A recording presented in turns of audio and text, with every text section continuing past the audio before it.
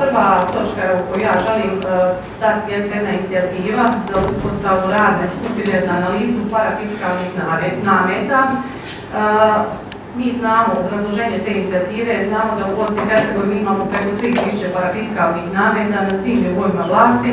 Stoga predlažemo da se formira radna skupina koja će napraviti analizu parafiskalnih nameta na području Županije Zapadno-Hercegovačke te vidjeti koje su od istih suvišne te na taj način povećati ćemo konkurentnost domaćih tvrtki kao i povećanje zaposlenosti u ljudima. A drugo zastupničko pitanje odnosi se na vladu Županije Zapadno-Hercegovačke.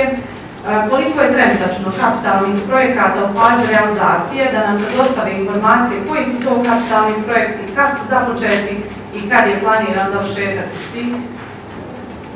Evo imate pismeno.